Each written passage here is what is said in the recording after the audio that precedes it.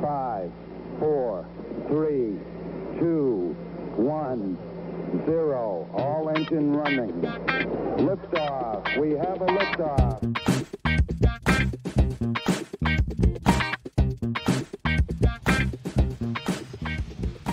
Hello and welcome to Truth, Beer, and Podsequences. So, this is the podcast where my co host and today a guest as well uh, listen to all the Cincinnati based craft beer podcast from the previous week. We get together here at our gracious podcast host, BC's Bottle Lodge, Montgomery, on a Tuesday and give our version of how those podcasts went, the truth of how those podcasts went. And hopefully, there aren't too many consequences from the hosts of the- other shows. Everything's good so We've, far. so we've been pretty good for, for quite a while. Yeah, Yeah. we've been, I mean, you know, Yeah, been all you know, Yeah, tamped it down a little bit. Although, when we get to shift beers, I don't know if what I got from them today could be considered a consequence. Ah, yeah, that's true.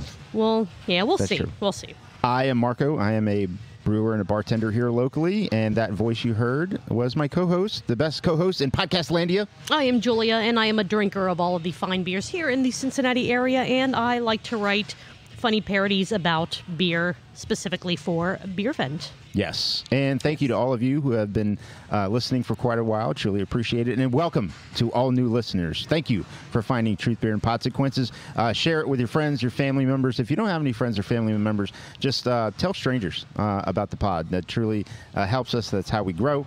And so, yeah, thank you very much. And when you tell those strangers about our podcast, you can direct them to at Truth Beer Pod on all the social media platforms. You can email us, truthbeerpod at gmail.com. Or if you would like to sponsor our show or even just buy us a, a beer or two, because we really do like to drink while we record this, you can do so at truthbeerpod.com. Just look for the big blue support us link. Yes, and you know, no craft beer podcast would be a good craft beer podcast without beers. Our beers today are sponsored by our guest. Our guest Yes. is John Lee. John Lee was our first guest. Mm-hmm. John Lee, say hi to the people. What's going on? Yeah, good to have you back on the show. Thank Yeah. you for having me. Absolutely. the first time you were on the show, we had not as fancy of a setup. You and Marco were passing a mic back and forth. Yeah. It was We were sharing a mic, but we had our, our arms sort of twisted like together. Yeah, So it. Mm-hmm. was like I would hold the mic for him and he would hold the mic for me. it was very sweet. It was a, it was a very Yeah. touching way to do the podcast, More but sensitive. I do like the fact that because it is like 97 degrees with 500% humidity, Right. that we're a little more spread out. Yeah. Ooh, what you got? Hell So, yeah. like I said, we have to have beers, and we waited uh, till the pod to actually crack them. Yes. Uh, let's see. I am going to let Julia say what she's drinking first. All right, I am drinking again, graciously provided by John Lee, Sonder Brewing's Extended Remix, which is a double West Coast IPA. I'm gonna grab a glass. So, uh, and then Marco, you had the same thing, right? I do. All I right. do. Same thing. But And Jo- ooh, here we go. have you had it before? No. Oh, that All right, was that's nice. John knows what he's doing with those cracks. So uh, I I have had this before. Actually, I I've been to uh, Sonder recently and have had it. Excellent. And you said that it was a damn fine beer, so I am That's right. I'm looking forward to John Lee, what you try drinking? this. Yeah. I am drinking Missing Link, Ah, From West Side Brewing Company. All right. Excellent. It's a very good. I actually had, I think, my last can of that either over the weekend or late last week, and it's just, it's good. They do such a good job with such a weird beer, if that Yeah. makes sense. Well, cheers, everyone. Let's Yeah, uh, cheers. let's give it. Cheers. We don't toast over the board, but Well, we do this time. okay. Just because of the way we're sitting, I probably. expensive. I'm just It's, it's it's fine. It's fine. So Marco's taking a sip, and I'll have John Lee take a sip, and you guys let us know, Marco, if it's as good in cans as it was on draft, and Yeah. then yeah, Fantastic. good. John, what do you think about? Uh, you've have you had this missing link before? I have not. First time, That's why I excellent. picked it. Nice, nice. Did you? So you didn't make it down to Missing Link Fest then? I was busy. Was that the same weekend as our festival? Yeah. Our, uh, cellar, Yeah, uh, Cellar Dweller Valley Fest- Cellar Dweller mm. Festival. Yeah, we were busy. John was doing great work there at the festival. I was there to witness his great work. oh, this is amazing. That's good, right? This is so good. Super yeah. good. Yeah. Sonder, great job on extended remix. Um, would love to hear a podcast about uh, you guys making this beer. Just That would be Throwing that a unique idea, Julia. All right. Well, since we have our beers, um, let's talk about, or let's kind of do a quick what podcast did we listen to uh huh. Sure. so that we can let, uh, I don't know, everyone else follow along. I listened to the most recent episode of the Brew Skies Happy Hour. I did. Good. Cincinnati Brewcast. Ready Uh, to drink? every- everyone drink. Everyone drink. Once again, we're cheersing over the soundboard, which is terrible to do. Delicious. Uh, let's see, Shift Beers. Yeah. All right. And then the Jungle Jim's International Podcast. Yes, I, I managed to squeeze that one in there. Excellent, excellent, excellent. Was there one? I know, John, you weren't aware that you were going to be here today, so you didn't have a chance to Yeah, I failed that listen test. in. That's all right. Well, out of those four, is there one that you would prefer to start with? We do tend to do shift beers last just because of, of the burp count, but Right. The burp it count, is it is all up to you. It's more fun after we've had a couple beers. True that. Let's do um, Brewcast. All right, All right, Cincy Cincy Brewcast. Brewcast. Let me flip my notes. This episode of Cincy Brewcast, uh, the gnome was at a place that Marco, you and I are very familiar with. Yeah. Higher Gravity Blue Ash. You Yeah. Mm-hmm. more so than me. You are intimately familiar with that place, yes. I mop every inch of that place. and you do a wonderful job. but thank you. You know, let me just say, it smells fresher in there once you're done than BC's does after the Cintas guy shows up, Wow. which we have not seen He was here. in a very long time. I haven't seen him. He was Yeah, here? okay. It. Oh, because I was up at Yeah. a place that other people don't work at. Yeah. Yeah. Yeah, he was here. My bad. Are Actually, you it the was a- Cintas guy? It was a duo. Is Marco Is the Marco Cintas guy? Cintas guy? No. We've seen the Cintas guy, that would be but four I haven't. I don't think I But have you four never jobs. seen Marco and, and the Centos Cintas guy. guy. Oh, you haven't. No. I, you haven't. all right. So uh, Jason was the guest on this episode of Cincy Brewcast. Yes. He is one of the co-founders, co-owners, along with Nick. Right. Don't know where Nick was. Probably down at Northside doing doing higher gravity Northside things. Yeah, could be. Uh, let's see. There was a lot of, of noise going on in the background of the episode. So Mm-hmm. if you haven't listened yet, just a little warning. You could still hear hear Gnome and Jason perfectly fine, Yep. but there was a little bit of construction stuff happening. So if you turn it on, you hear some hammering and all that. Don't keep listening. It doesn't impact the the quality Just of the show at it. all. Yeah, absolutely. This was this year is their five year HG anniversary, Yeah. which is pretty exciting. Um, I didn't realize it had been five years already. have you been a Stein Club member all five years? They just started doing that last year before. Oh, okay. Before um, Were you Summit an Park HG opened. Club member then? Not for the full five years. Okay. Um, I was in. I was a six pack member or HG Club member for maybe close to two years. What were you doing for the three years before that? just just sitting there drinking, being a complete buffoon about the monthly offerings that they had. I just Oh, I just okay. I just gave them money. But you have been going. But I have been going there for yeah, I believe they were open for it wasn't even a full year when Josh and I started going there and the way that we found out about it was first my sister said, "Hey, there's this bottle shop down in Northside. Think it's the kind of place you and Josh would like to go." And we're like, "Okay, cool. We'll check it out at some point." But then one of Josh's not coworkers, but like they worked on on teams that worked really closely together. So uh, she said, "Oh, hey, my my husband is one of the owners of it." And so we're like, well, now we have to go down there to, to check it out. So went down there and fell in love with uh, the Northside location and with what they're doing, and it's been downhill ever since, All right. pretty much. Awesome. And Yeah. I have been going to the Blue Ash location ever since uh, before open because I got I was there when uh, the you know the first team meeting for the people that were hired there. Hey, one of these days I will get you down to Northside just so you can see the north side space. Oh, I yes, that would be fun. Yeah, I mean, Adam even submitted a well, you know, quote unquote complaint saying that he needed you to cover one of his shifts. So Somebody asked me to cover shift today actually, and Oh, I just I couldn't because I have to be here and do this. absolutely. Yeah. I mean, that would have been awkward. Like, hey.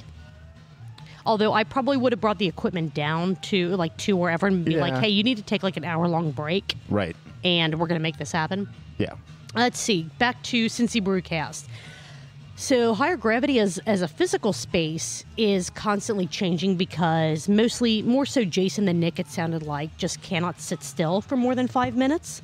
Nick, So- I, I've only interacted with him a Handful know, of times? Handful of times, but he seems like a guy who's perfectly happy to just sit there. Not Yeah. saying I have No, any no, no, evidence. Of, to the to the case, but Well, but but as when you compare the two, the two owners, Jason is more of the.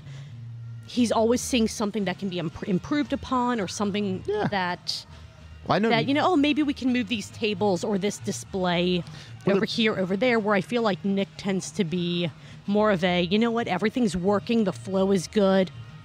No, no need to change anything. Well, they're both Just- active in different ways, right? True, like so true, Nick will 100%. walk his dog around the neighborhood, and Jason will I don't know mountain climb or something. So, Jo, have you been to either of the higher gravity locations? I have not. Okay, that's fine. I'm slacking That's- over here. Sorry. That's fine. Well, you're you're not really. It's, it's not local. It's to a him. local to you, right? So I mean, it's it's not. I don't judge, but I mean, I I went to will school. just say my opinion of you has dropped slightly, knowing that. No, I'm kidding. The only thing I know about higher grav, they do the Christmas calendar. That's beer vac- like, yeah, yeah. That's the only thing I really know. Well, that's what the episode was about. So good Oh. job. Mostly, yes, yes. So Good see, so see, John. you are. It's it's like you knew. It's like you knew you were meant to be here today for that. Uh, I didn't realize how long they had the lease signed for the Blue Ash location. Right. That they had had it signed for over three years. I mean, I know that they really can't talk about stuff too soon, just in case, you know, weird things fall through, COVID hitting, all that kind of stuff.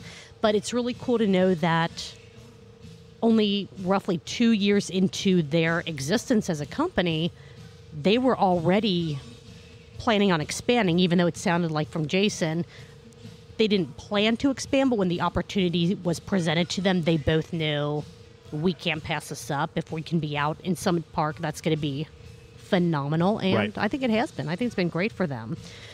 They were all- great for me. yeah, hell yeah, it has been. I'm very happy for you. They were also surprised about how quickly they got regular customers at the Summit Park location. Yeah, you're welcome. Which, uh, I, yes, I, I think that Marco plays a huge part in that. When you walk in and Marco is the one pouring your beers or your tequila shots or making your mixed drinks for you, you want to come back time and time again. So that full credit goes to you for that. Yeah. Also, having you know an apartment complex above the facility probably helped. If you can just It go helps. down a couple flights of stairs and get a beer It does help. every night. It helps. Yeah. And having you know guests come to the park, it helps. Being Yes, Dora.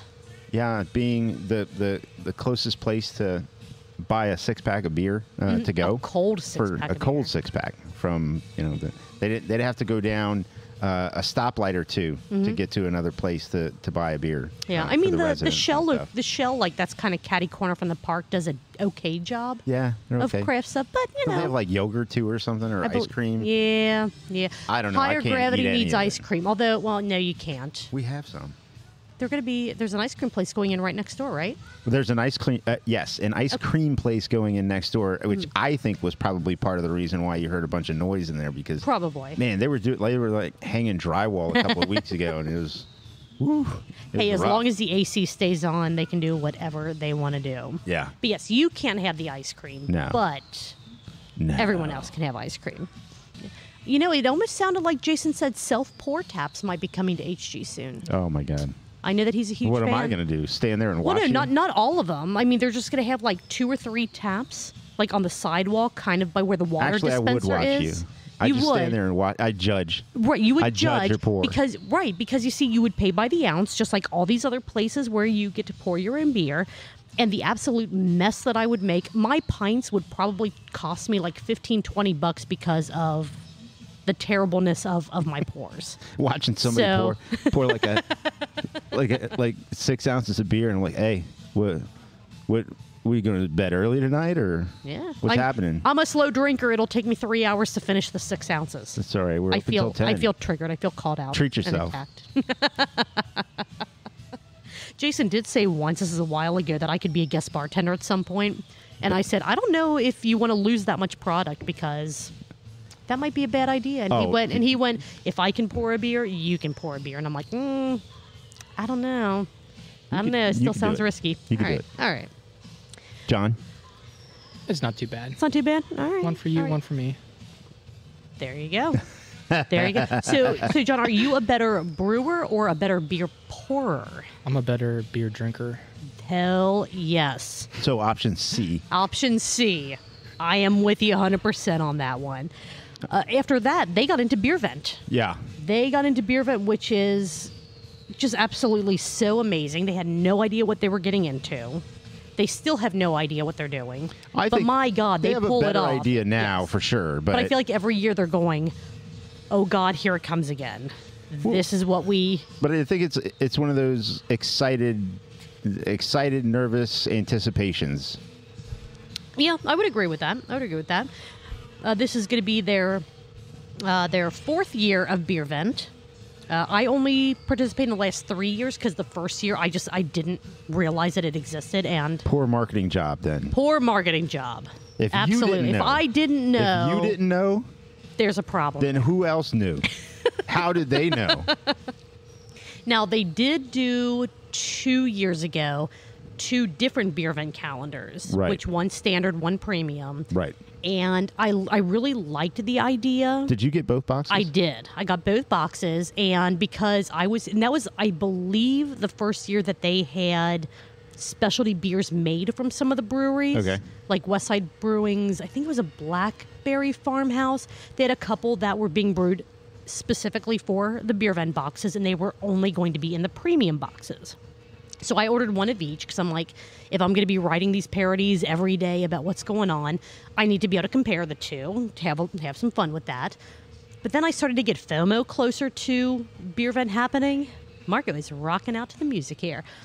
And Dr. so John. I and so I was like, well, what if I really, really like these special beers that I can only get in this box? So I bought a second premium box, which actually worked out because Gnome said that he didn't get a chance that year to buy one before they sold out, and I went kismet. Yeah. As, as Sonder Stories would say, I miss Sonder Stories. Anyway, I miss the people. uh, I the do people. absolutely, I miss hearing the people. Yes, yes. You know, felt like Hearing they were the fun. friends. Absolutely. Well, I mean, they are. Yeah, they are. yeah, yeah. They are. Uh, but it ended up working out because I told him, I sent him a message just saying, hey, I ordered two of these because of everything you do for craft beer. One of them is yours. Either I can pick it up and find a way to get it to you, or if you think you can get down to Northside. And uh, that's when he forced his poor pregnant wife That's to a great story down. about how he forced his pregnant wife yes to to walk four blocks from the higher gravity location. Well, first she had to park four blocks away. She parked it where urban. Hmm. Well, that's only three blocks away. She would have done better if she did that. Four blocks away in the parking lot, walked her her poor pregnant ass all the way up to higher gravity, got the box, and then walked it all the way back to the car, not Right. realizing it was like a 35, 40 pound box. Yeah. When he when he said, I think it might have been a weekly pint or something where he said, where he told that, and I'm like, oh my god! And then she got no, home. They, She got home with the box. He's like, "What did you make me do?" And he was he was there with a beer. He had a beer and a snifter Beer and a a snifter, cigar. He cigar, was sitting outside with his his, feet were up. propped up. Oh yeah. Whoa, what's the matter? Oh You my pick god. up the beer? Mrs. Gnome, I know you're a huge fan of the show. I know you listen all the time. I am sorry. I apologize to you for for that. Um, Well, it's what he said when she said, "What'd you make me do?" And he just went, "Sometime it bees like that."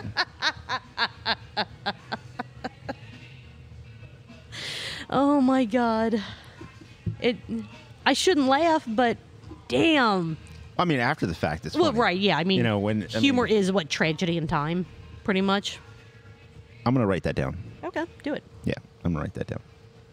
All right, let's Who see what that? So, uh, Socrates. uh Confucius. Ah, okay. Mm-hmm. Yeah, But he was having a conversation with Plato, and they were like, you know what, this is this shit's funny, and it's like, well, no, it's still kind of tragic that it happened. That's And good. They were like, you two- Confucius say, Two philosophers, and they just went, "That shit's funny."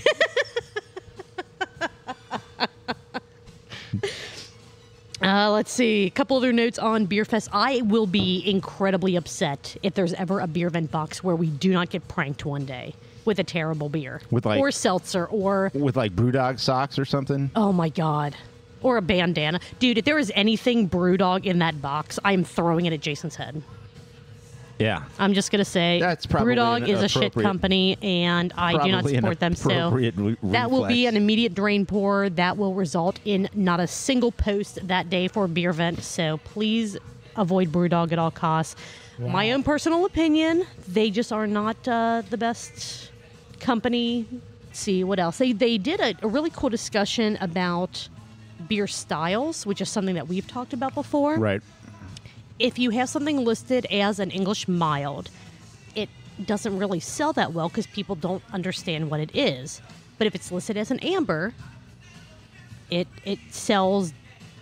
I, I don't want to say exponentially better, but it it will sell versus Right. something called an English mild, which I don't really understand. And John, Well- your your face is is twisting up. You you have thoughts. So what are your thoughts Yeah. on on styles? John looked like he he, he stepped on a thumbtack. It was a painful thing to listen to. Yeah, English mild. There's multiple recipes that you can brew for it. English mild, Mm-hmm. amber, dark mild, a session. So there's, it's more than just one beer. I, I feel like it's like a big category Sure. of like a, even an ESB or ESB, Mm-hmm. and I feel like a and it lot. can be And by the way, John, Wow. drop. Go ahead and drop your uh, bona fides. Uh, Yes, t- tell them yes. uh, that you are educated. so so yes, John, drop where where you get to brew at. They're they're called. Well, first of Well, all, okay. education, Yes. and then where you're at. Uh, uh, Yes. And That even though is, we're in uh, Cincinnati, I don't care where you went to high school. Let's just, you know, yeah, higher it's in- education yeah, and beyond. whatever. Bona fides. I went to Cincinnati State, so if you're looking for a craft beer education, they have it there. Awesome. I literally Googled beer school, and that's the first one that popped up. Cool. That's how I have my career. Excellent. And where has that taken you as far as places that you've been able to work at? So I've worked at Cellar Dweller Mm-hmm. Brewing Company up over in Morrow, and now I am over at uh, Wiedemann. Excellent. Ah, brewing some lagers. Wiedemann makes some really good stuff. Like they're they're very underrated for what they're doing because I think a lot of people are still stuck on the Are they? 40 year ago Wiedemann. I I hope not. Like I hope that's not the case. I think it's getting better. I think just the marketing and all that's getting better with it.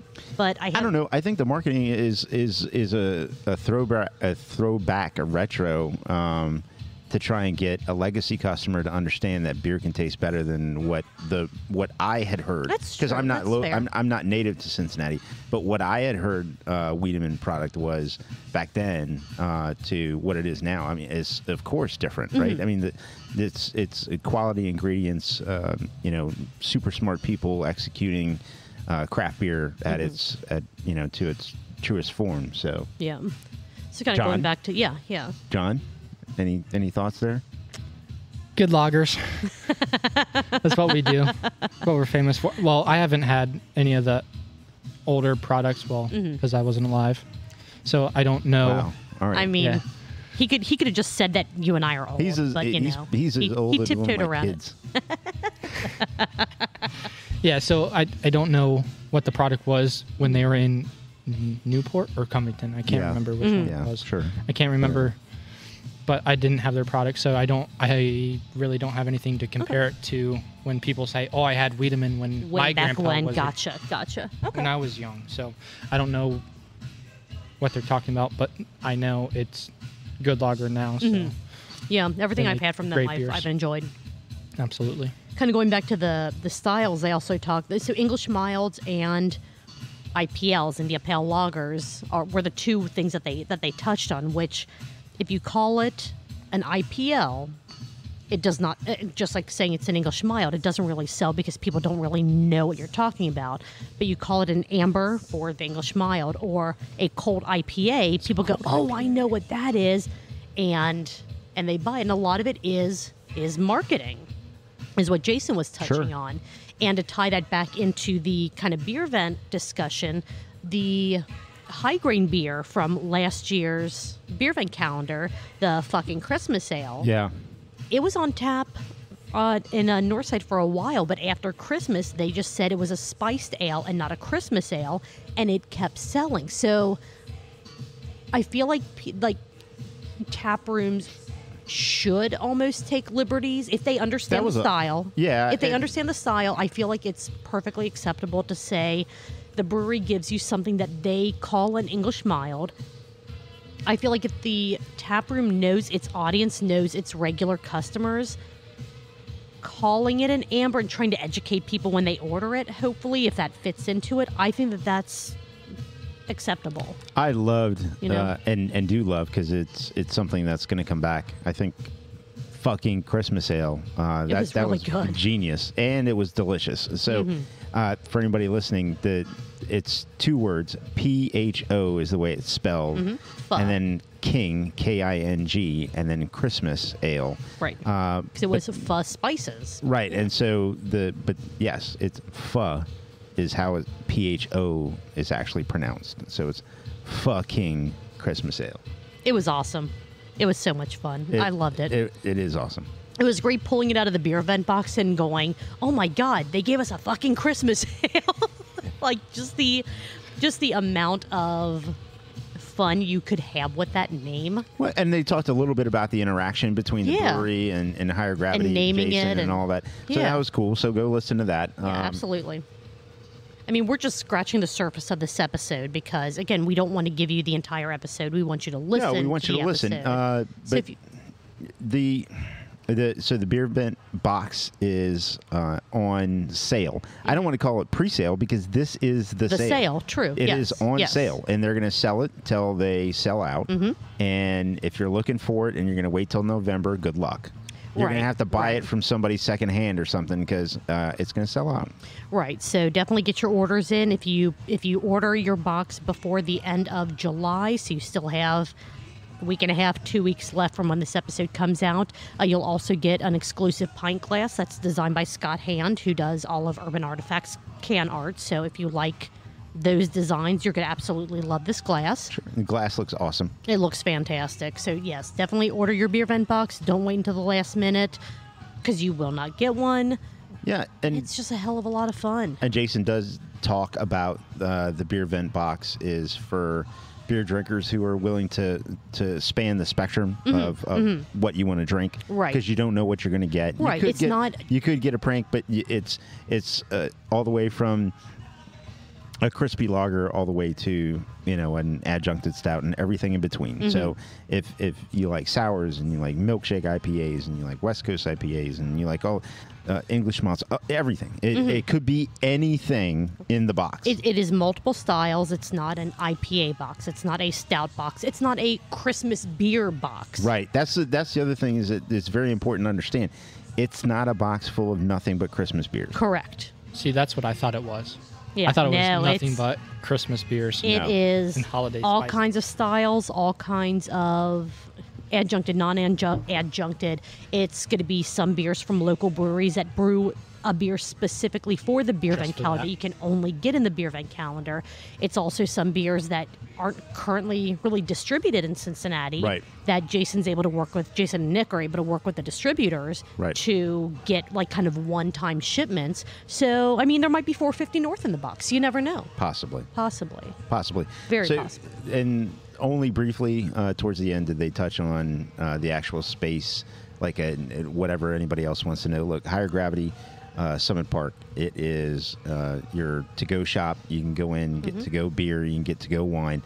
Uh, there's uh, 30 taps. Um, you've got wine on tap, uh, kombucha, soft root beer.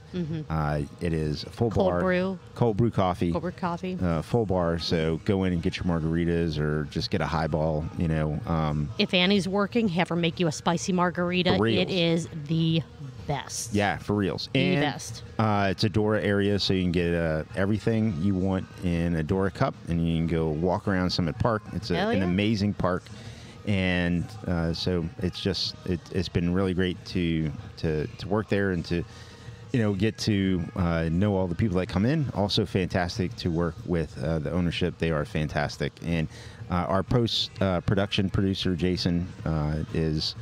You know, really fantastic to see uh, almost on a daily basis when I'm there. So, really fun episode. Yeah. John, did you have any other kind of comments or questions that that you I know you weren't able to listen to this episode yet, but anything that you wanted to ask or touch on or comment on based on on our recap?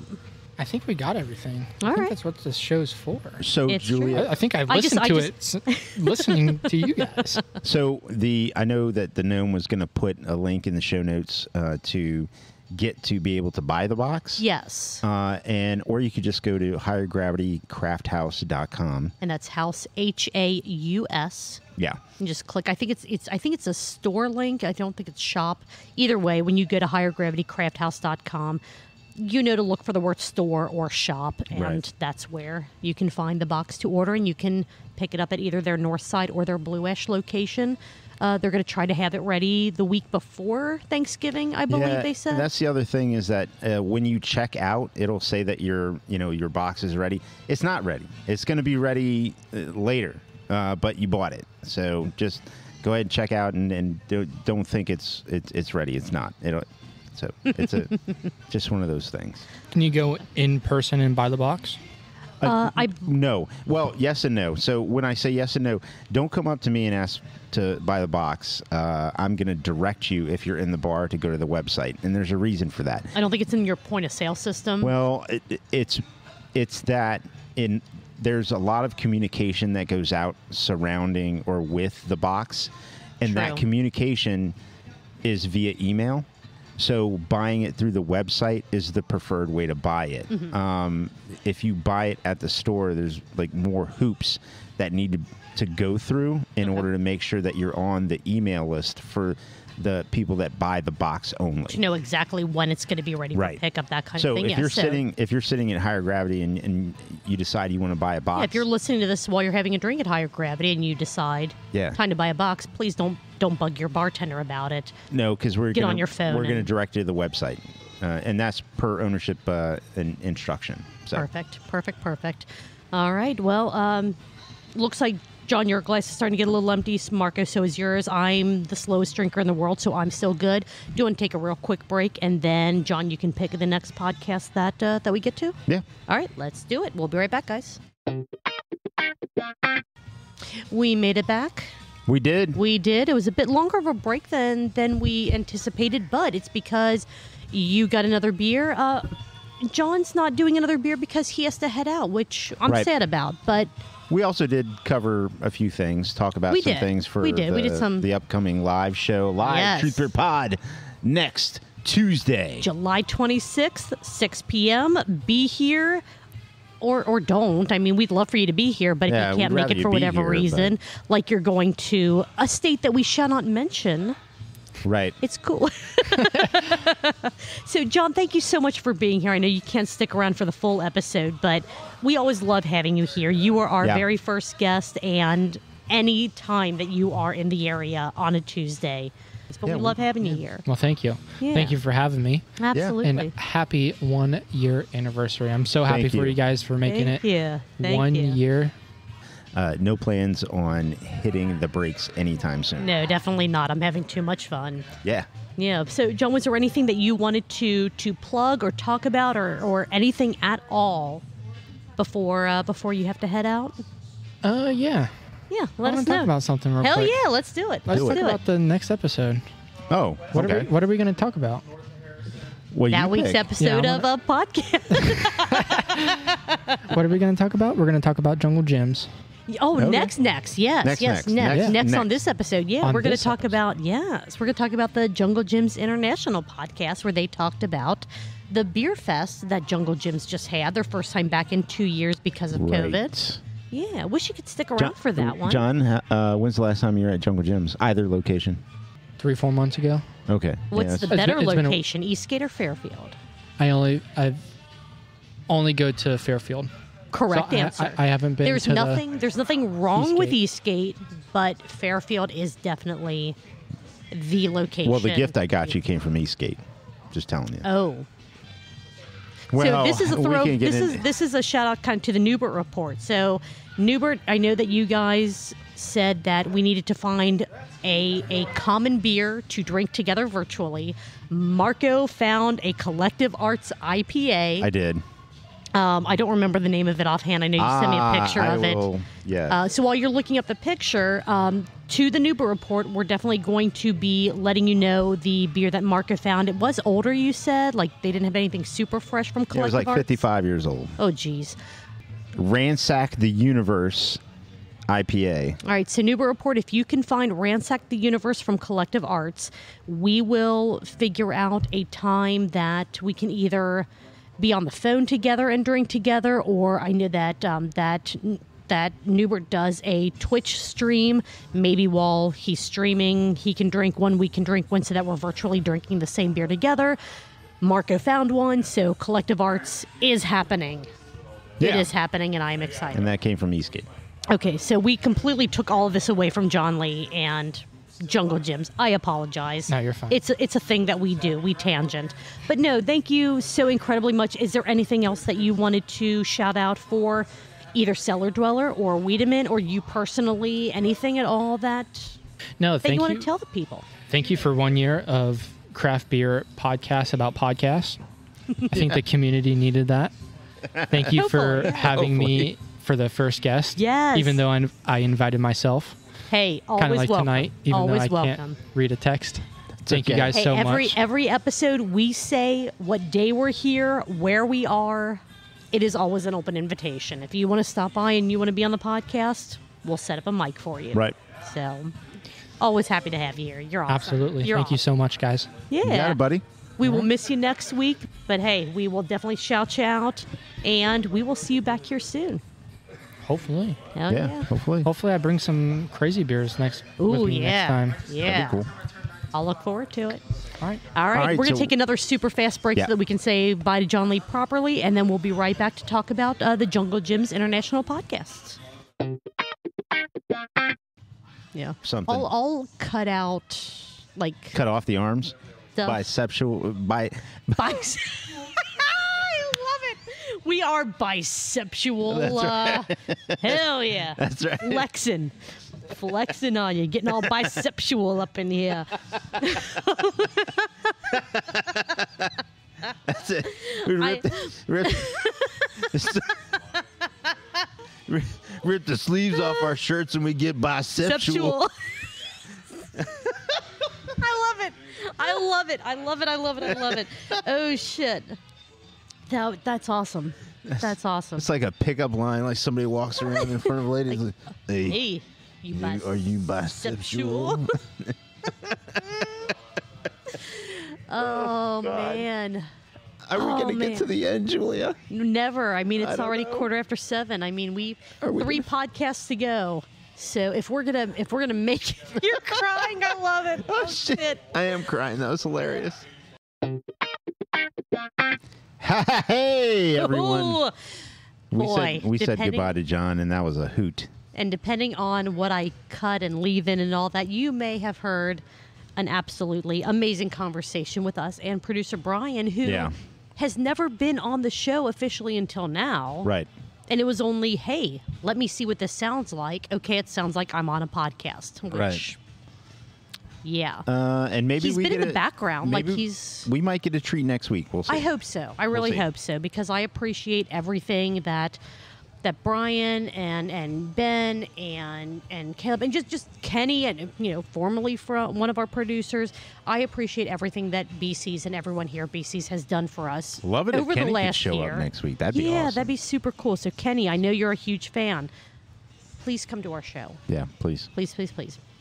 All right. So before John Lee uh, scooted out, he said he wanted us to cover the Jungle Jim's International podcast next. Sure. So that's what we're going to do. This was this is going to be a quick recap. I feel like um, this is their Beer Fest is back show.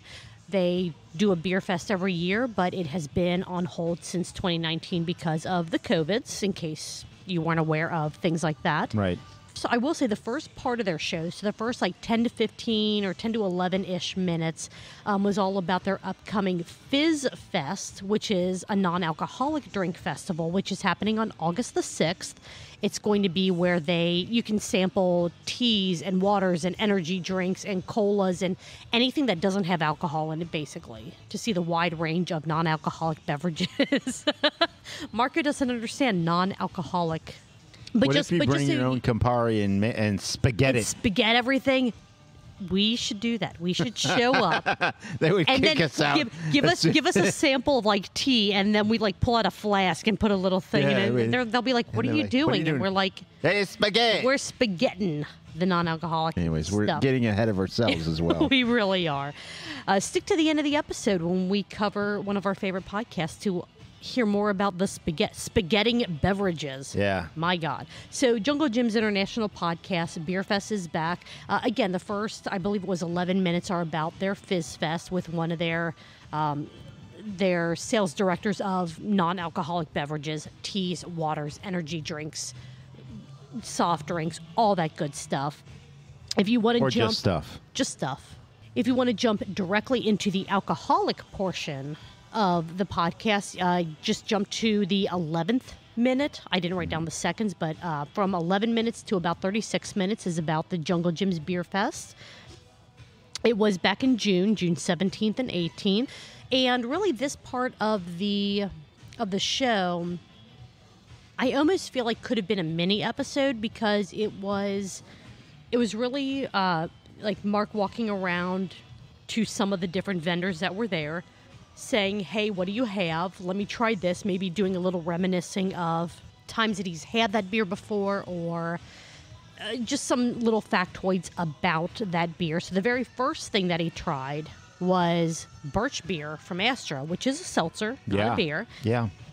uh, he you know he basically just just got samples of stuff and tried it and talked about how either good it was or i remember having this back back when or i never had this before and this is really good.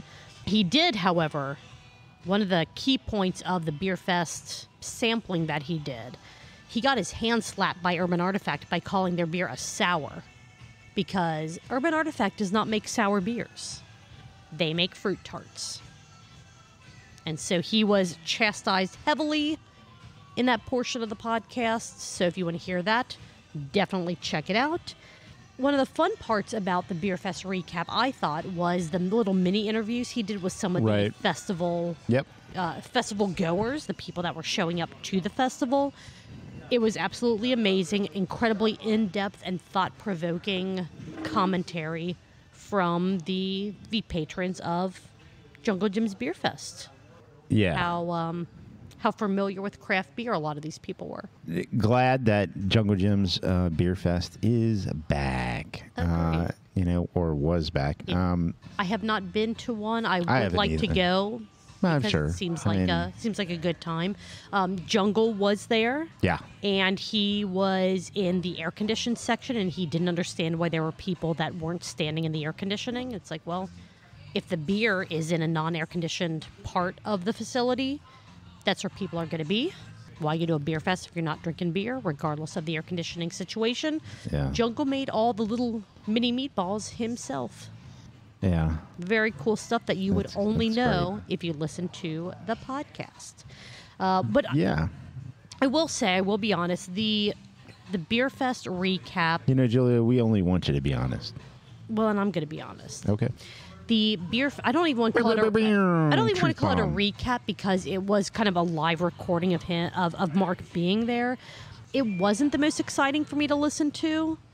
I think that I would have enjoyed talking to maybe some of the people that coordinate the beer fest to figure out how it all came together, and then a smaller segment on the beers he tried and the people that you know just the regular festival goers like us but it was still it was still fun for him to go around do all that though at the 37 minute mark the podcast shifted gears and mark was talking to a couple of the guys from country boy brewing Hey now. about an event that they that they had back on uh, July 16th. So just this past weekend from when we recorded this, the Country Boy Barbecue Blowout was hosted at Jungle Jim's Fairfield.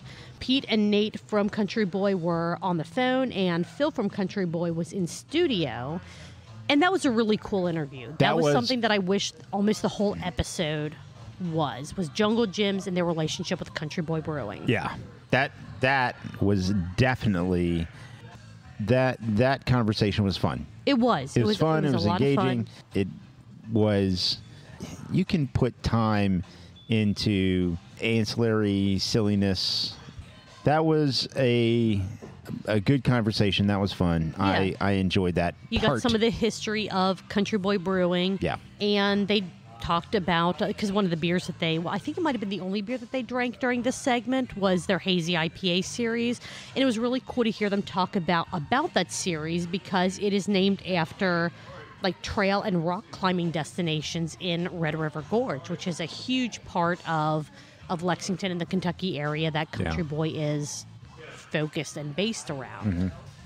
But Country Boy is is a, an incredibly fun brewery. I think their Lager, Lager Con Lima there is one of my probably in my top 10 if not top 5 beers. It is just incredibly good. Wow. They make super solid beer. I mean, it's Uh, start with uh, number six, Julie, and Oh, go gee. six Oh, you're one. doing this. You're doing this. Okay, so I think if I had to do a top six, six would probably be, and these are gonna these are gonna change as time goes by and more and more beers come out. Um, Squeeze box from Urban Artifact. I've, Okay. I've got to put Very that good. in there. Very I think five. I'll say is.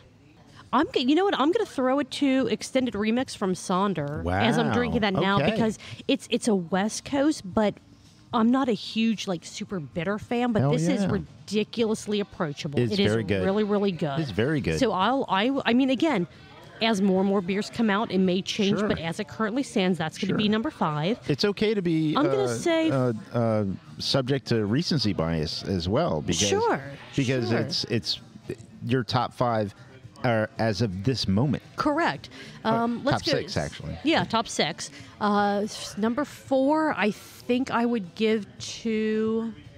I'm gonna say that number four for me is fig leaf strawberry basmati Ooh, okay. because it's. I mean, especially now, like I'm I'm approaching this from a summer beer Sure. mindset, like thinking about darker, heavier beers. They just don't sound good to me. So again, give me Right. six months, give me to the winter, and my top six will probably change. All right. Number three, I'm gonna give to.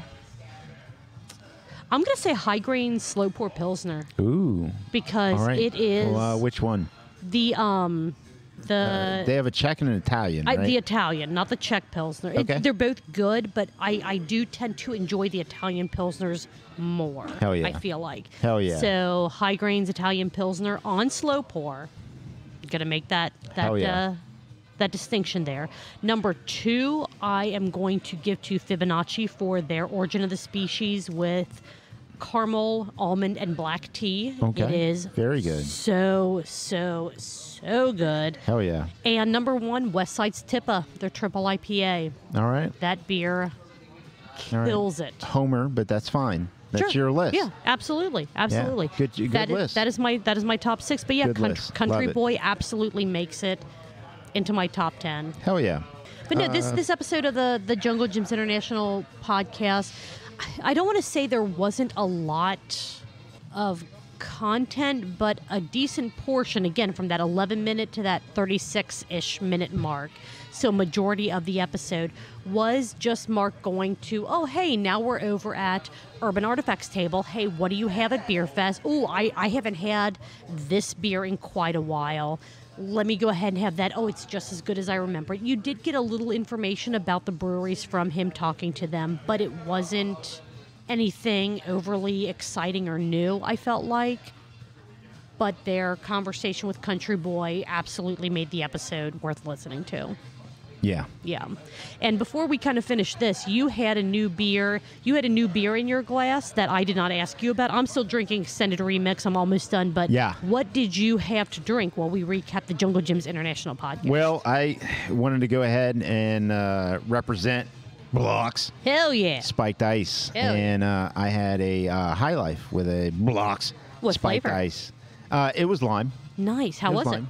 It was delicious. Good. I'll and tell I you say what. was in the past tense because of your glass is empty. Marco is now pitted. Or he's getting pitted. Well, I mean, we'll see. responsibly pitted. Responsibly, absolutely. Hashtag uh, pit responsibly. There we go. We will make that a thing. All right. So you're you crushed that. I am just about finished with mine. So we are going to take yet another really quick break. We're both going to do our thing, and then we're going to come back with Brew Skies Happy Hour and Shift Beer. Hell yeah. All right, we are back once again. Marco, you have a new beer in your glass. I have a new beer in my glass. What are you drinking? So I have uh, Pilsner Yeah? uh, from Pipeworks. It is uh, premium- premium pills. on. Slow pour. Hell yeah. Slow pour is the way to do those Pilsners. I love it. I am Delicious. It it is. It is. I would have gotten that, but I asked producer Brian to pick my beer for me, and uh, and he did. I'm trying to look up the brewery just to make sure that I get it all correct. I am drinking from AleSmith Ale Smith Brewing Company. A little bit tricky to say. Dark Ambrosia. It is their. Oh, you did get the dark ambrosia? Yeah, yeah. Oh shit! I said, "Fuck it, let's do it." It is a strong ale. It um, this could be a really, really, really bad idea. It It'd is be all right. a. It What's is for a, dinner? Taco Bell. Probably Skyline or Taco Bell. Either way, it's not good. You know what I mean? Like either way, it's. But I have Woof. limited resources on a weeknight at like 10 p.m. Yeah, that's the that's the trouble. Is when That we get out that is here. the trouble. Yeah, I don't mind it. I'm not complaining, but No, yeah. So nobody- this this is a took it as twelve point eight percent uh, strong ale. So I did not put a BLOX in this one because I do not need any more than twelve point eight percent. Sure. And uh, even though this normally goes in a tulip glass, I got my uh, my BC's Bottle Lodge mug club mug Right. filled almost to the top. So this could be this could be, be- a oh, fucking Jesus. good end Nice. to the show. I It's apologize in advance. It's such a great mug. I am Yeah. so happy with it. I love it. All right. We have an hour and 20 minutes before we shut this place down, and we want to hang out for a bit before that happens. Yeah, so let's go we, ahead. We got some housekeeping stuff to do True dat. for next Uh, week. Yes, our live show, Live show. 6 p.m. BC's Bottle Lodge Montgomery. Be here, or we'll make fun of you for not being here. Right. And um, you'll have to live with that for the rest of your life. Forever. Pretty much. Forever. You missed our one year live show. It only happens once. That's So, true. Yeah, yeah, it really is. Then you'll have to wait for the two year live show, which, which still won't be the same, right? Which still won't be the same as the one year live show Right. because it, it'll be the two year. Yeah, anyway, Bruce exactly. Guy's Happy Hour. Let's get into episode eight North Carolina's first craft brewery. Yep. I love this podcast so incredibly much. I know we say it every single time they release an episode that we get to talk about. Uh, this was Uli Bennewitz, who was a German immigrant who came over to the United States and whose brother convinced him to purchase a brewing system from Belgium before North Carolina even allowed beer to be made in the state. I again smacking into the microphone. My God, I told Hey. you, a professional next life. It's all good. It's So, all good. uh, it's real. What I what I liked uh, first off from the bat is that I didn't know who Uli was, and It was many not a name familiar to me either. Yeah. many of the names that they've had in this season were names that I was familiar with or you know tangentially familiar with Mm-hmm. um, and but Uli that he he was a fun dude Oh my I mean, God, I want to so- have a beer with that guy. hell yeah He was an absolute riot, and it reminded me so much. So again, German immigrant, like Yeah. from you know Belgium, all that. he he was He a- reminded me of my grandparents who came over from Yugoslavia, which kind of doesn't exist anymore. But they always just said, "Eh, we're technically you know German," because it was just easier to say than Yugoslavian. So a lot of, of his accent, a lot of the way that the way that he said things, just made me think of my grandparents, and it just made that made me rel- like I don't even know if I want to say relate to this episode so much more, but it just it was so much more no, I'm sure maybe was. so much more invested in the episode because of that. Yes, and the and Yeah. the the, the uh, nostalgia, you know, from the the the, the lineage, the the heritage. Mm-hmm. You know, I, I I get that. I, I understand where you're coming from. Yeah, yeah. Uh, even though that's you know not my not my uh, uh, background uh, from a geography standpoint, Mm-hmm. but I. I felt I got I got warm and fuzzy listening to him. Yeah. Uh, because he, he's just a super easy person to to talk with and relate with, and Mm-hmm. it really hit it off well uh, with uh, Brett and Mike. And Yeah, absolutely. uh, it was really, really a. It was a fun to hear how funny it was how he happened into a brew system. yes. Yes, absolutely. and then having a brew system saying okay well then i guess i'm gonna uh, open a brewery, and then I'm gonna have you know sausages, and we're like gonna a, like a brew pub. He kept saying gonna- brew pub more than brewery because Yeah, they did brew have like pub. a restaurant Yeah. uh, idea on it. Yeah, but it pub. was it was hilarious because he bought this this system from Belgium, so it was shipped overseas to him. And as he was starting up the Weeping Radish, which it sounds like recently within the last year or so, it sounds like ownership changed hands and I He don't- sold. and they weren't open this past summer because I was actually like looking up. The gnome was mentioned was asking for recommendations for places to go to drink while Right. he was vacationing in the Outer Banks, and I've never been to the Outer Banks, but I'm like, oh, let me just I haven't let me either. just Google foo and see if I can find something that sounds cool. Stumbled upon the weep, the Weeping Radish. Never knew anything about it prior, so listening to this episode was freaking awesome because I'm like, this connects a lot of dots for me.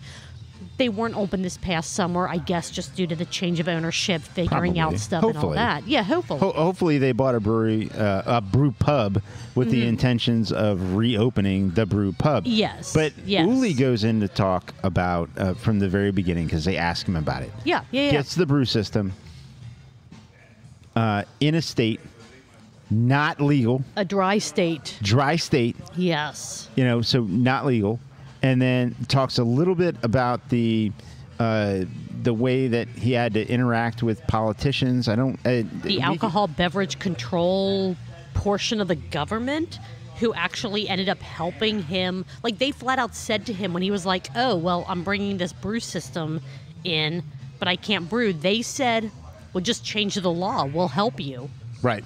Like wh- who who does that who just changes the law Right. it was it was a super super super cool story of how he went from it sounded like not really being interested in owning running a brewery in any way shape or form to his brother saying oh you should totally buy this i mean Right. the money will just be flowing in it'll pay Right. for itself in no time to okay sure i'll buy that and then finding out this is a dry state like i'm not legally allowed to make beer here to a federal government entity saying well just change the law so that you can we'll help you Right.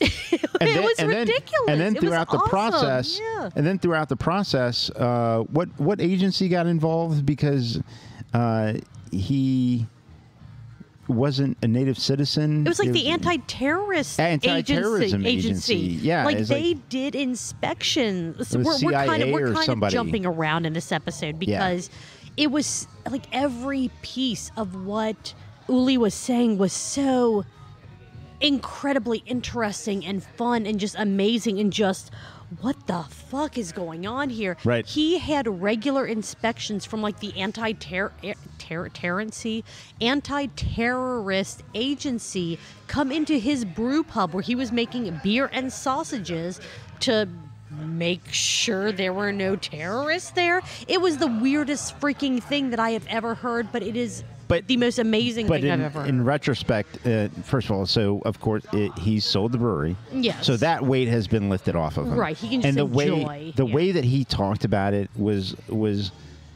in in sheer joy the whole time Oh, yeah, yeah, he was very he was very forthcoming. Uh, forthcoming. He also uh, sounded uh, very happy and and, and joyous.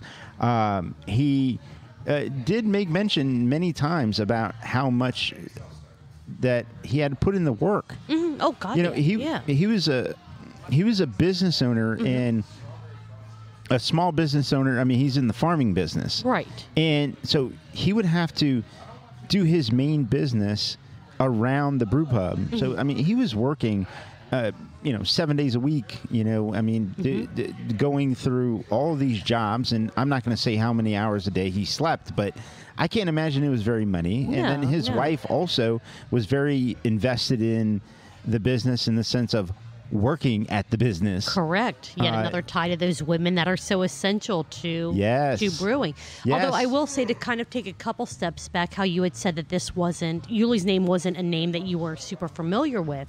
A lot of what we've gotten from uh, from Brew Skies Happy Hour in previous episodes, and they even mentioned this. So these are not, this is not my own observation, just kind of a recap of theirs. It's been West Coast focused. Like this is the first kind of East Coast Right.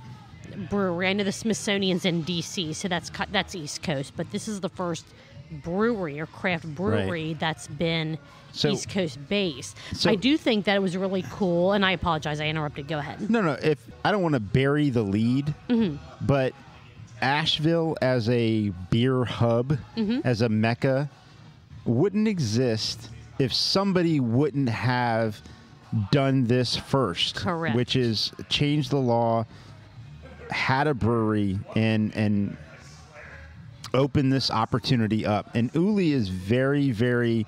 Um, uh, uh, passive in trying to accept the the crown of you are the reason why this happened. He he is very uh, bashful in a way. Uh, He doesn't he doesn't really care to have that sort of recognition or moniker.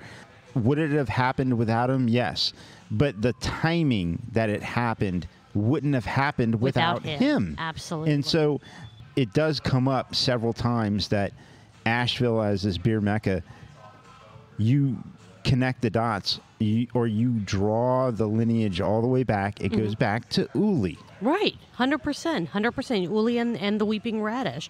I, one of the really neat things about there are so many neat things. Every single episode of Brew Skies Happy Hour is full of neat. This is one of the neat things about this episode, and this is a neat thing. And this, there are just so many amazing nuggets in in these episodes. One of them that I really liked is how he talked about when he was trying to change the law and trying to get the brew pub started up. He had a local business that helped to fund the brew pub Oh, this is good. and it is a a very seasonal company or store locally. Who knew Spirit Halloween would have that much of an impact in huge. craft beer? It was huge. Huge. Spirit Halloween pretty much said, "Yeah, hey, you know, we only pop up randomly when there's kind of an empty, you know, lot nearby, but we think what you're doing is awesome. We want to fund your first brewery here."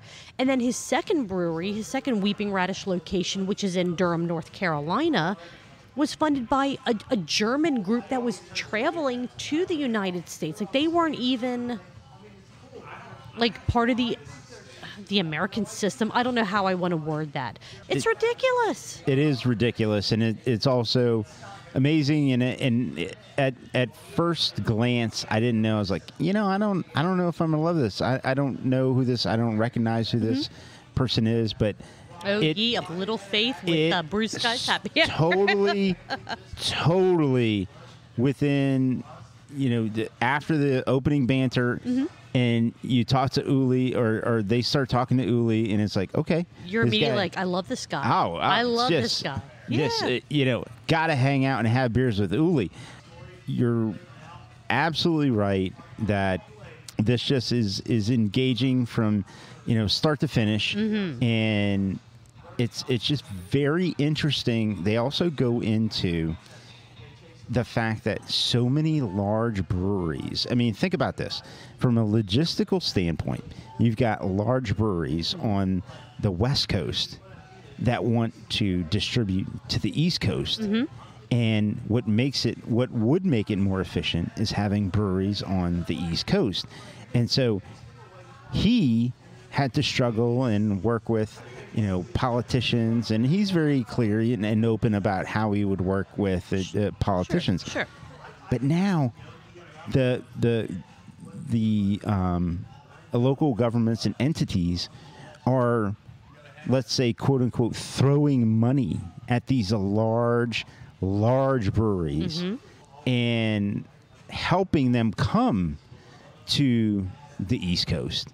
And Brett is over there um, chewing glass, you know, uh, uh, thinking about how this this whole system is working, about you know small business being the backbone of America, and yet a bigger beer, even though sm- you know, they're still small businesses, Right, But bigger small business breweries are being thrown so much money in in, in the way of concessions uh, to come and open you know their you know just meccas Right, on the right, east right, coast and so uh, there's so many just interesting uh, topics and subtopics, and you know, uh, uh, also microaggressions uh, that go through this whole thing. It's very, very interesting. And uh, uh, talking about wanting to have beers, one of these days we need to have beers with Brett and Brett and Mike. Mike. Oh, hell yeah.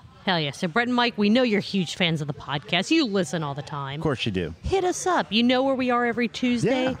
I might even be able to convince Marco to get over to the west side to go to either the higher gravity north side location, which you guys say you're a fan of, or Urban Artifact, or You carve out. somewhere. You two carve out a day that works with uh, my schedule, uh, and like a hey, how about a Tuesday? We'll meet at Northside. Yeah. We'll record a pod, have some drinks. It'll be fun. Yeah. Let me know. And you guys can either be on our show or we can record our thing and then after that we just hang out and have drinks and, and get drunk and have an absolute ridiculous amount of fun. it'll be a it'll be a blast. And Brett, if you can wear the Sasquatch costume, that would be amazing. yeah. Just saying. It you Just know saying. it's, it's a thing. Julia Julia has a thing about it. It's hair. Oh hairy. my god! No! Oh my god! Oh my god! Which is hilarious because hair is like one of my like. It makes me uncomfortable, and I don't have any good reason for Well, that's why we get Anyway. along so well. It's true because anyway, I will leave that one alone. Another cool thing that wasn't necessarily beer related that they talked about, which was a phenomenal talking point, and they could have had an entire episode on this, but again, not beer related. They were talking about education and the goals of education and how they differ between Germany and the United States. And Uli had such a spot on analogy or, or take on it. Yeah, I remember that. In the United States, as far as education goes, the United States says let's just try to shove as many people through college as possible. Like we see college as like the mecca, the the epitome of education. If you can get a four-year degree, my God, you're, the world is open to you and everything's amazing and, and all that stuff. Where the the German take on education or higher education is let's just ensure that every child has the ability to go into a profession when their education is finished, whether that's anything from like a trade school to Sure. like their university, but whenever they determine that they feel their education level can't go any farther, they're ready for a profession. They're ready to enter the workforce. Whereas here in the United States, sure, you could have a bachelor's or a master's or a PhD in absolutely anything, and it doesn't mean you're guaranteed to get any sort of job anywhere. Whereas when you focus on a profession, you've already proven that you can do whatever that profession requires. I couldn't agree more with uh, his base point. Uh, I Uli's agree. base Yeah, point. yeah. Funneling uh, young adults through a four-year education to come out with a four-year education has uh, what value? Uh, and It there has is- merit. Right, right. I'm not it discrediting it at all. It does Right, have right, merit. right. Uh, but when you, uh, you know, unless you're going to have a, a, specialty, you know, there's so much vastness in, in employment, right? Sure, So, sure. and that's why I totally support uh, my youngest. Shout out to my youngest Ari, who is going to finish high school and is working. Uh, and, and and learning through a trade school, Hell yeah. um, Hell which yeah. is awesome. But Yeah, they, absolutely. they ultimately are, are probably going to go to higher education, but uh, piggyback off that and then go into uh, you know the field of, of their choice. Mm-hmm. But I think this society is so we need people who know how to do trades. We how to need do things. how to do things. We need people to know how to do things.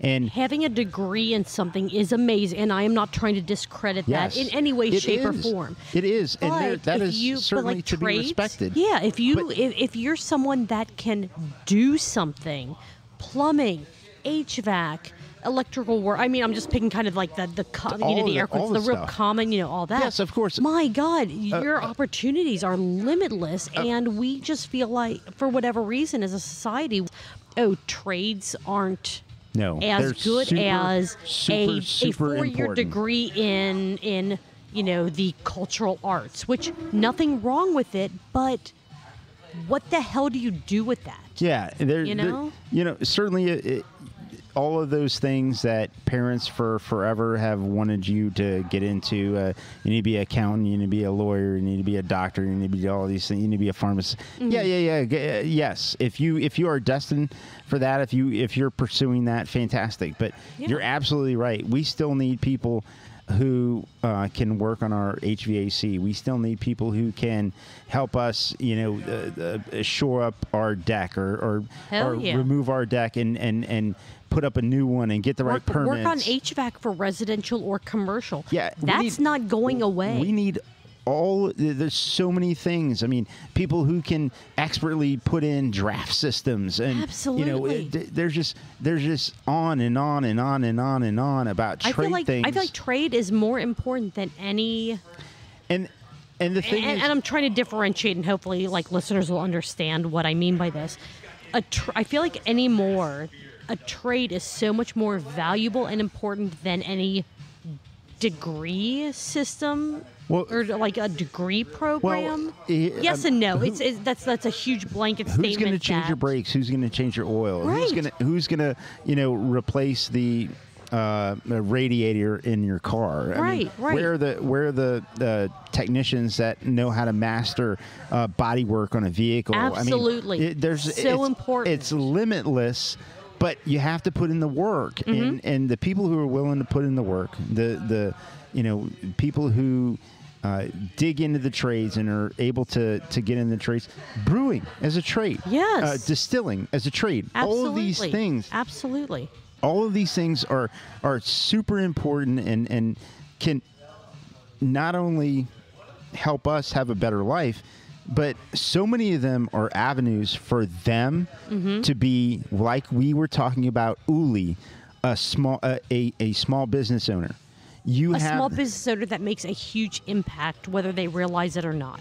As simple as as simple as somebody who knows how to groom dogs. exactly. You could have a mobile dog grooming business. Mm-hmm. You could have a, uh, a brick and mortar dog grooming business. You could, Right, yeah, right. You know the the the possibilities are out there for you to to to provide not just a living for yourself and your passion Mm-hmm. or the thing that you do and do well, but you can have a, a fantastic uh, life and be able to um, achieve wonderful things through your yard cutting business, through Absolutely. through the the Like you and I talked, neither of us want to cut our yards.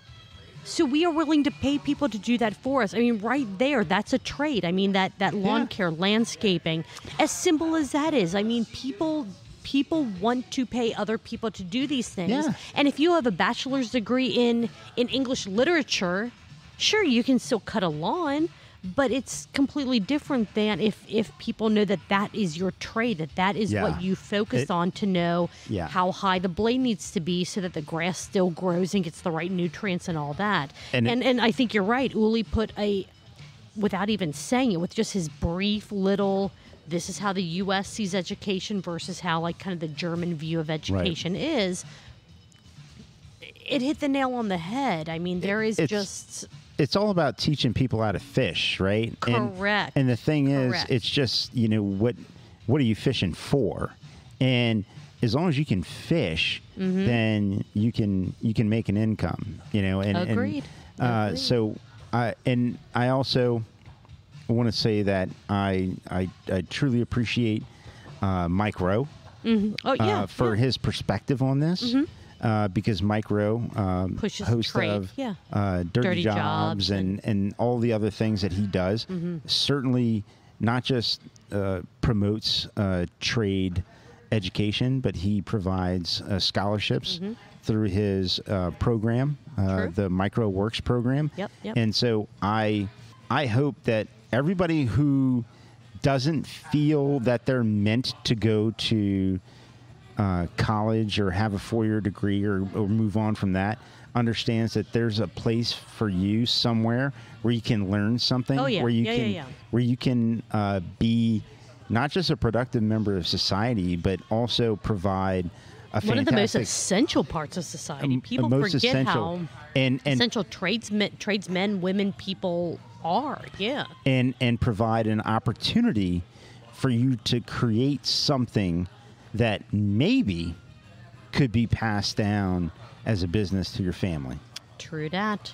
So, um, so let's tie this back into Brew Skies Happy Hour. yeah, Uli came from. So this, it sort of ties in. I'm I'm trying to kind of connect some of the dots here, but one of the kind of last points that I had on this episode is that Uli came from a culture of craft.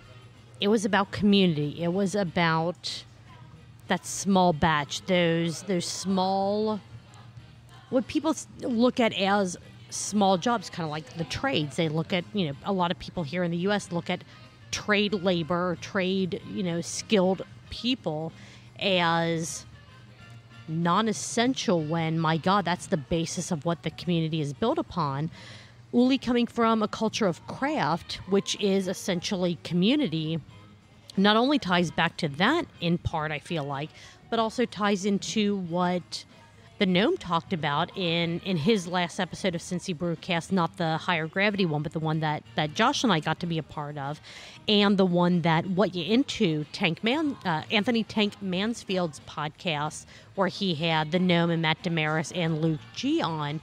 What is craft? What exactly is that? It's community. It is such a community focus and again it's it's a huge topic. It's a broad topic. Uli just barely brushed the surface of that with this episode. I mean you can't deny that without that community focus what uli wanted to do with the weeping radish would never have happened. They would have never had that local uh, tourist related business that I'm saying is Spirit Halloween. You have to listen to find out what it actually Right. may or may not be. Hmm. As well as do like you mean it might not have been Spirit Halloween? I mean, we it is our version of the truth of these podcasts. That is that is what we're all about.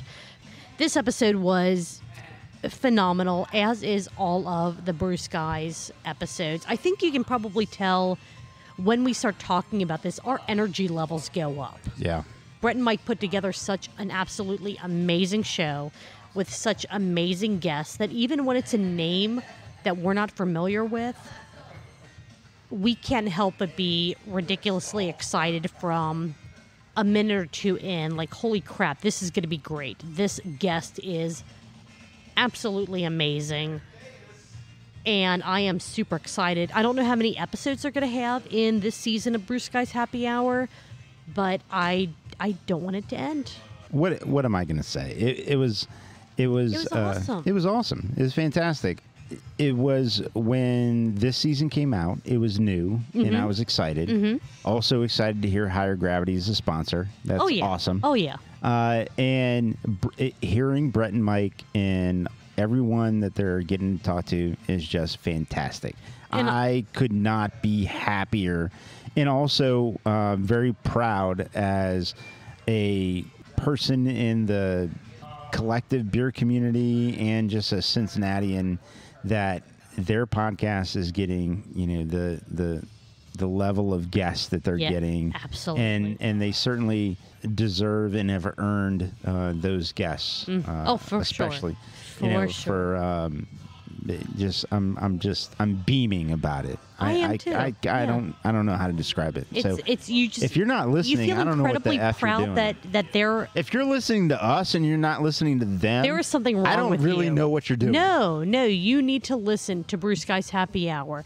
I am like you, so beyond proud that not only is it a Cincinnati podcast, it's a Cincinnati beer podcast, and it is a Cincinnati beer podcast that is touching on absolutely amazing guests and topics about the history of craft beer in America and how we got to the point to where we are today. I mean, without without the people that they're talking to, you and I might not be doing our show. We have one podcast left. We do. Do you have enough beer to get through that? I mean, I still have. No. I still have plenty of mine. No. So let's take a quick break. That's a no. And I'm you get a refill. I real quick break while Marco gets another beer, and then we are going to come back with not our favorite podcast to recap, but the most fun podcast to recap Shift Beer. So stick around for just a few seconds, and we'll be right back. Marco, Julia. you have a new beer in your glass. Well- I have the same beer in my glass because this is a heavy hitter for me. So I, this is it. This is all that I'm drinking for the rest of the night. I Yeah. am this glass. That dark ambrosia. All right. Shift Beers, episode 89. Spaghetti It and Forget It, aka Oops. Oops, all bonus beers, aka Simply Spaghetti, aka Spaghetti. Yeah. There were a lot of titles Yeah. for this episode that they were talking about in the course of the episode, which was freaking amazing. Our all time favorite Shift Beers guest was on this episode. Lee. Lee! Oh, hold on. I got a button for this one. Shit. Lee showed up and Miss he Lee. brought some absolute bangers for the Shift Beers crew to drink, Yeah. and they spaghetted it up. Go ahead and tell everybody that's listening what the fuck spaghetti means. So to spaghetti a beer, which I'm not entirely sure why it's called spaghetti. I don't know if it's just because it's an Italian thing, but to spaghetti a beverage is basically having a high life with a shot of Campari added, which Campari is an English bitter, typically orange peel, but they spaghetted all of the things. It Yeah, they wasn't just- just high life. They just spaghetted. It was everything. They went around and, And it shot was their spaghetti ridiculous. everywhere. It was it was freaking amazing. Is that so? Is this? Uh, I'm sure you did your research uh, Sure. in the history of things and um, and spaghetting, uh, but is that typically a, a thing where you just uh, spaghetti shit? Typically it's just high life. So a spaghetti, Yeah, if you're talking about a spaghetti in the drinking the drinking sphere, As I'm, we I, don't- are. I don't know, as, As we we, are. are. Typically, it is a shot of Campari in a Miller High Life. You take a drink out of the Miller High Life to get a little bit of extra room in, in the can, the glass, whatever. Put in a shot of Campari, and that is a spaghetti. okay. I'm sure that it is much more expansive than that globally, as Shift Beers did. But the They went through again, the air a quote 750 official mil uh, Campari, of Campari in a what hour and 20 minute episode? hour and 20 minute episode. I mean, amongst everything that they drank, Ridiculous. it's, uh, So you know it's going to be a good show. So just from the beginning, when they were talking about drinking, which was a very small portion of the episode, so good fucking job, guys, on that. Brian and Chris and their crew for their Fourth of July party, they saved a dog's life. They did. They did. This is not a joke. This is not us making shit up. Yeah, It was 100% they saved a they dog's saved the dog's life. Yeah, Yes. true.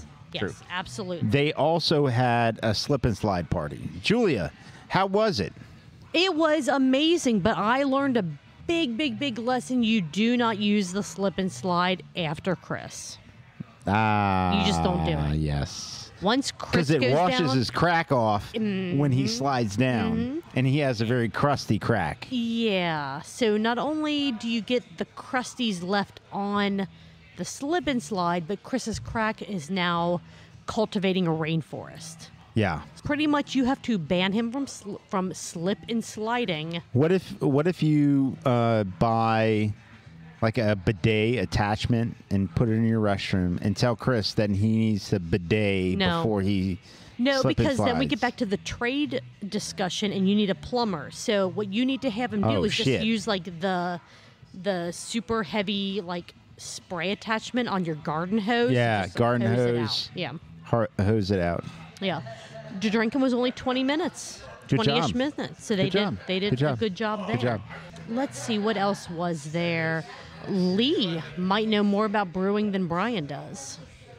That's because he's a Nuclear physicist. Nu- well, nuclear engineer. Nuclear engineer, I believe, is the actual title that Lee. or I could I could do it like uh, George uh, nuclear nuclear.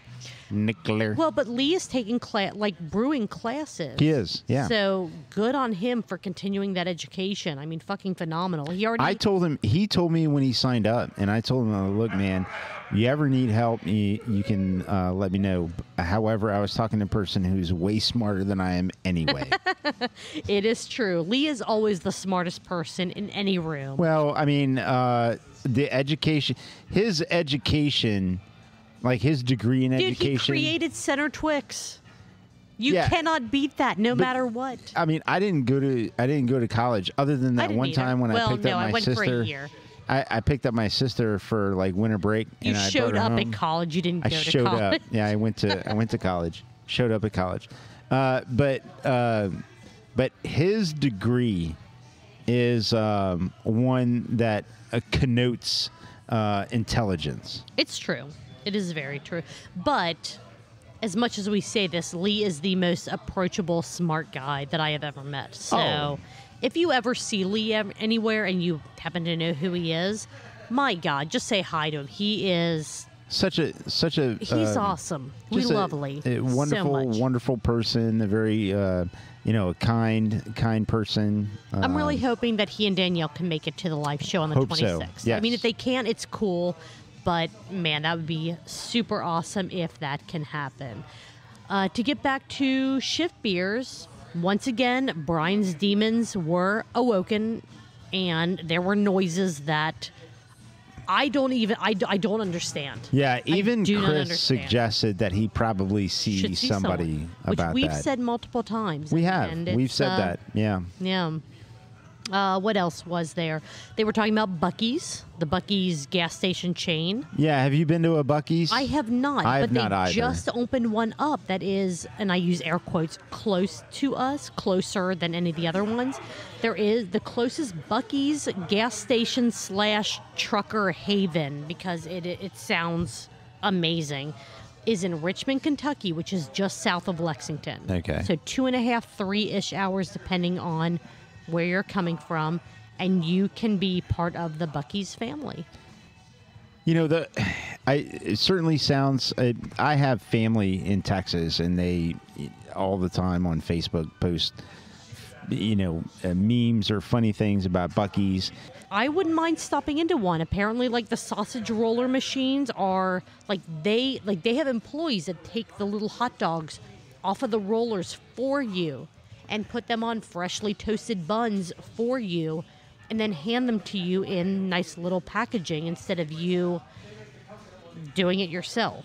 Okay. It sounds amazing. It does. It sounds does. amazing. It does. What else sounds ama- sounded amazing about this episode are all of the stories that Lee got to tell, such as Oh, wonderful. Okay, so So I'm not uh, going into any of these because you need to listen. Well, to put it on the poll. Julia. Okay, I'll do it. Put it on the poll. Did Is this almost a two beers and a truth, or two lies and a truth? Two beers and a truth. no? This is Same this is. thing. Just, I'm going to give you. I'm going to give you uh, three options. Okay. Did Lee dress with a trash can and a green shirt and have a liter of gin Okay. and Snapple and call it a Oscar the Grouch costume? Okay. Option one. Okay. Did Lee dress in a Big Bird costume with a liter of gin and Snapple? Okay. Sticking with the gin and Snapple. All right. Okay. All right. I I, or I like did it. Lee, as an option three, Three. Mm. did Lee dress as Grover Mm. with a liter of gin and A Snapple, Snapple.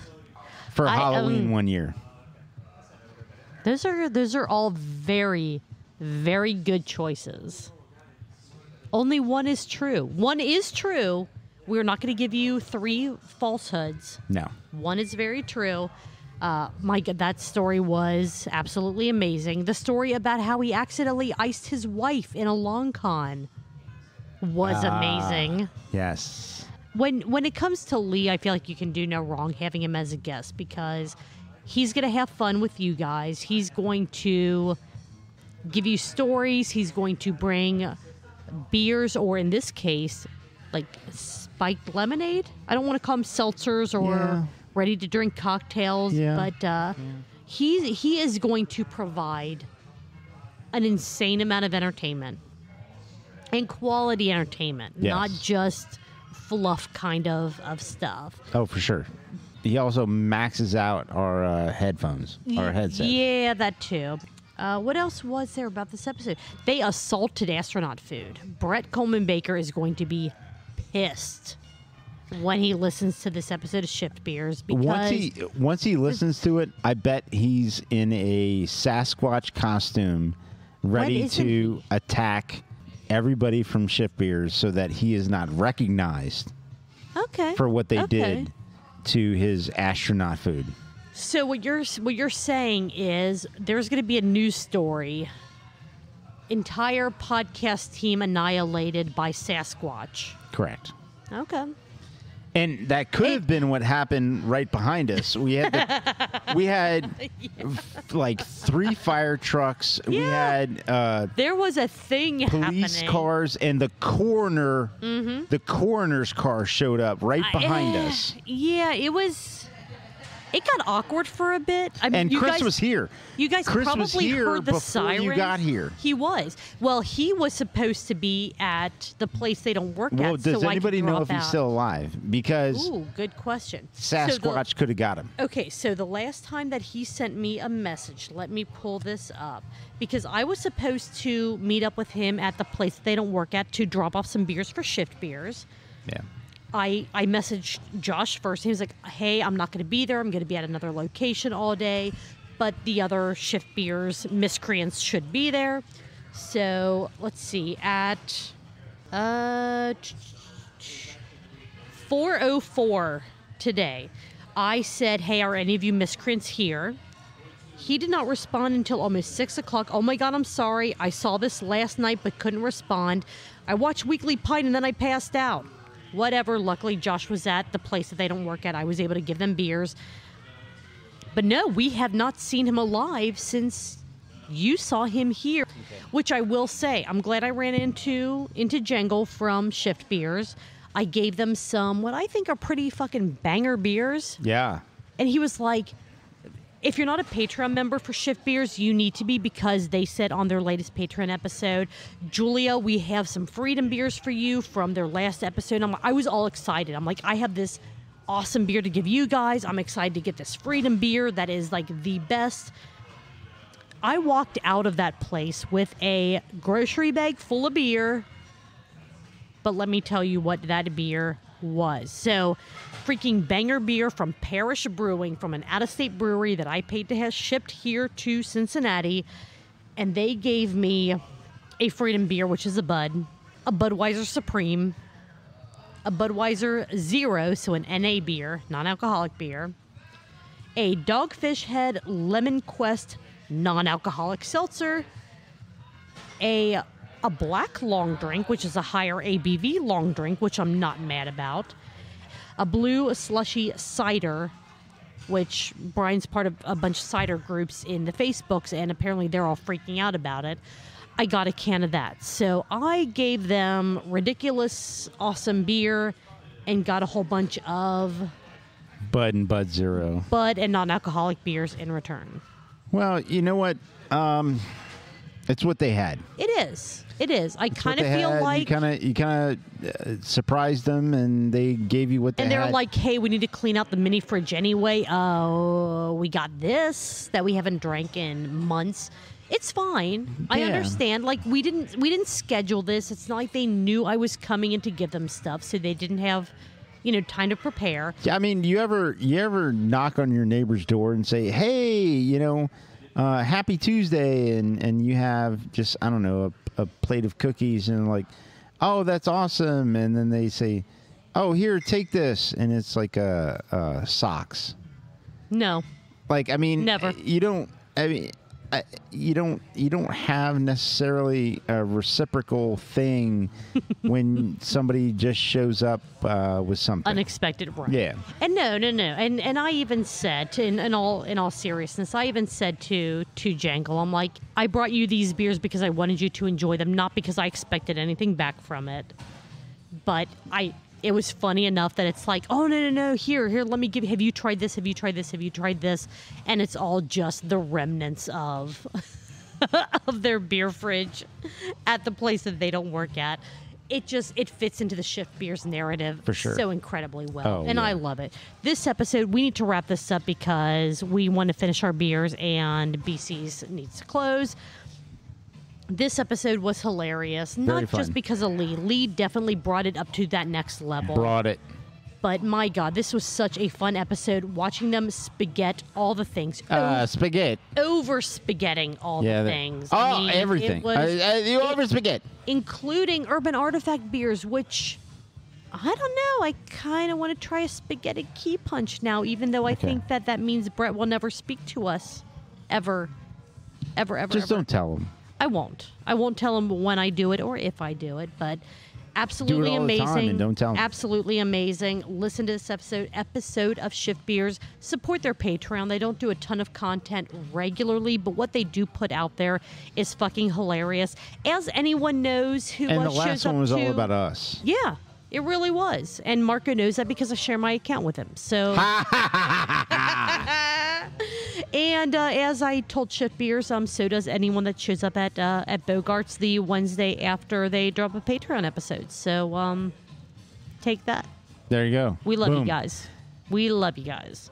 The the amount of publicity I give to you guys should cover me sharing my account with Marco.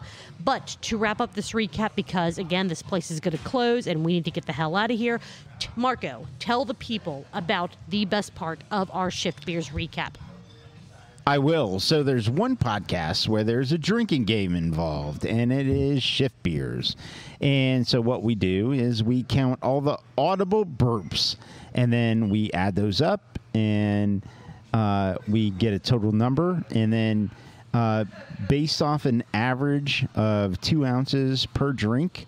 When you drink, uh, we let you know how many ounces and then dumb that down to pints and let you know how many pints you would have needed to consume if you're doing the drinking game with shift beers. There it is. That's what it is. Don't at me about the number of ounces. I Googled it and that's what they said. So uh, that's what we're going with. So Newport Report, even though your ounces may be, well, it's not even ounces, your milliliters may be more than what our average ounces are. It's a Google thing. You guys drink as much as you feel fit per yeah, sip. whatever. It's all So, fine. Episode 89 of Shift Beers, Spaghetti It and Forget It, aka Simply Spaghetti, aka Oops All Bonus Beers, aka anything that rhymes with spaghetti. Just that's their title. This episode with Lee, they fucking brought it. Oh, yeah. We had a total of 98 audible burps. It was almost like it was a seltzer episode, but it wasn't. 98 audible burps, which translates into 196 ounces if you're doing a two ounce sip, which translates into you will die if you do this drinking game. Please don't, unless it's not alcoholic stuff. 12.25 pints of your favorite beverage. Hell yeah. That's Holy awesome. crap. Holy hell. That's amazing. Absolutely awesome. amazing. Well done. Well Good done to everybody. I mean, whenever Lee's there, the, they were waiting for you to show up. I know, I know. they they they it's cool. mentioned it, It's but cool. yeah, I mean, if if you were there, that would have easily been in the 120, 130 level. I know, I know. But that is still a hell of a number for for a non-seltzer episode. Yeah, for the, sure. The simply lemonades are, weren't super carbonated, so my God, great job, guys! Yeah. You rocked. And that is our recap of shift beers, which means that is our that's our episode. Yeah. we've covered all That's the it. podcasts. So we done did it. we done did it. So a little bit of house cleaning so that BCs can close up and kick our asses out of here. Thank you so much for listening. As always, we really appreciate it. Please show up if you're able to to our live show next week, July 26th at 6 p.m. at BC's Bottle Lodge, Montgomery. We're going to try to keep it between an hour, hour and a half. Hopefully, as many of the podcasts that we recap are able to be here as possible. It- but it's going to be broadcast over the speakers anyway, so people's ears are going to be assaulted whether they want to or not. In addition to that, if you like what we do, share us with a friend. Like, review, subscribe, share, scream from the rooftops, do all of that good stuff. We really, really appreciate it. Follow us on social media. We are at Truth Beer Pod everywhere. You can email us anything you want to email us truthbeerpod at gmail.com. If you have any complaints, at Raging Hop on Twitter, we will compile those and let you know when we have enough to, to do such things. And if you would love to buy us a pint of beer or contribute monetarily so we can figure out upgrades, video, the kind of things that we want to do to make this even bigger and better for you guys. Truthbeerpod.com, the big blue support us icon. We love you. We thank you so much for this is episode 51. We are almost at a full year and we could not be more thrilled. Marco, what else do you have for the people? I just want everyone to know we truly appreciate your listenership and thank you.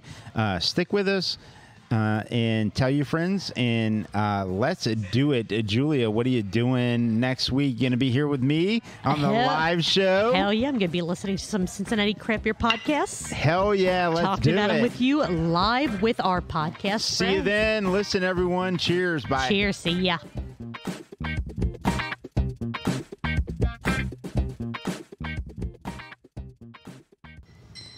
Hey everyone, uh, this is Marco with Truth Beer and Consequences. I'm here with Julia, and when I talk to everyone uh, who's in our uh, reach, our listening voice, and let you know that uh, you are important, and that uh, tomorrow is the opportunity for great things. And so, if you're uh, struggling, if you have a rough day, if you are struggling with uh, mental illness, mental issues, uh, there are people, if not in your life or your circle, there are people out there to help you get through that.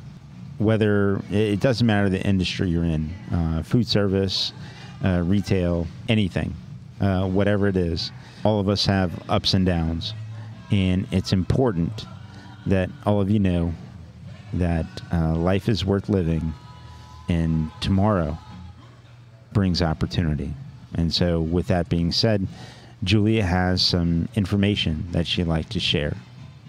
Yeah, if you're so, if you're struggling in any way mentally, if you're just having a really bad day, if you've been struggling with negative thoughts or feeling that you need help in some form and you don't feel comfortable talking to a friend, a family, a coworker, uh, someone from from any organization that you're part of, there are people out there that you can talk to, and that is the Suicide and Crisis Support Lifelines. They have a new number that just became live nationwide on July the 16th. If you are having any mental health issues or struggles and you just need to talk to someone, you can call or text 988 which is just the same as 911, but it is purely for mental health support. 988 for any support, or you can do a chat at 988lifeline.org. You don't have to be suicidal to call or text or reach out via chat. If you have any struggles, substance abuse, uh, economic worries or problems, relationship trouble, uh, issues with your sexual identity, illnesses, getting over abuse, depression, l- being lonely, anything at all that you need to talk to someone that you feel that you don't have a someone directly involved in your life that you can talk to, reach out to 988 or 988lifeline.org. There is a counselor available to just talk to you and just let you know that that you matter and that tomorrow will be a better day go ahead and reach out to them because we want you to be around to listen to us next week and beyond because you matter and we love you and we want you to be a part of this amazing world no matter how bad today may seem. We love you.